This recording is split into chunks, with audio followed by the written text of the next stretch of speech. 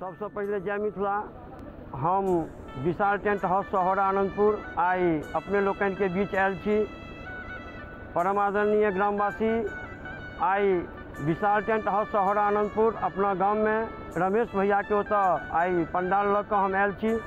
और हमर पंडाल जे बनल हन, ई पूरा वीडियो में अपने लोकन के देखायल जायत जे हमर पंडाल कहाँ से कहाँ तक बनल हन, कहाँ तक लाइट डेकोरेशन अछि, और हमर की पंडाल अछि। ओ अपने लोकन के जे से देखायल जायत एहिमे।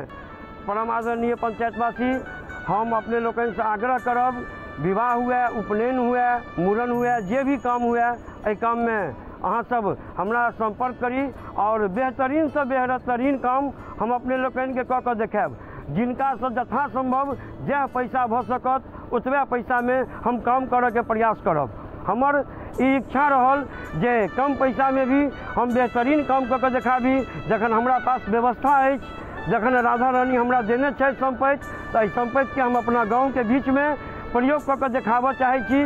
पैसा कौड़ीके हम वैल्यू नहि करैत, हम सिर्फ़ पंडाल बनाबऽके शौकीन छी, और अपने लोकनिके पंडाल बना कऽ देब। अहाँ सब हमरा एक मौका दी, एक बेर हमरा पर अहाँ सब विश्वास करी और विश्वास केला के बाद अहाँ सब देखबै जे विशाल टेंट हाउस सहरा आनंदपुर अहाँके की सेवा कऽ कऽ दैया। ताहि हम अहाँ सबसँ एक बेर फेर विशेष आग्रह करब जे अहाँ सब हमरा एक मौका ज़रूर दी और हम अहाँ सबके पंडाल केहन बनायब, ओ प्रयोग कऽ कऽ अपने लोकनिके हम दिखायब। जय मिथिला, जय जानिया।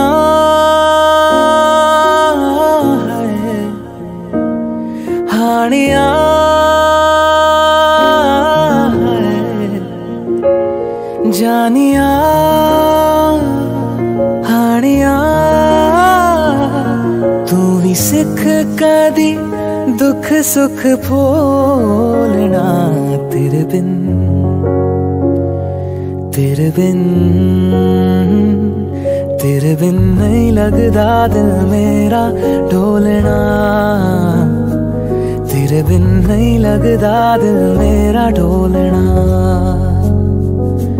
तेरे बिन नहीं लगदा दिल मेरा ढोलना।